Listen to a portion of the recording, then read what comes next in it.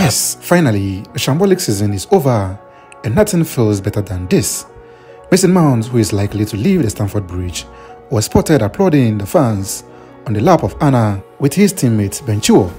This may be his last appearance at the Stamford Bridge as a Chelsea player as he is leaning towards Manchester United at the end of the season. It is an emotional one for the Cobham graduates, who has been in the club since age 6 and help the club win the second Champions League title. It must be a sad one should he leave this way after his incredible journey at the Stamford Bridge. We keep our fingers crossed to see what happens in the coming days, but I hope he stays.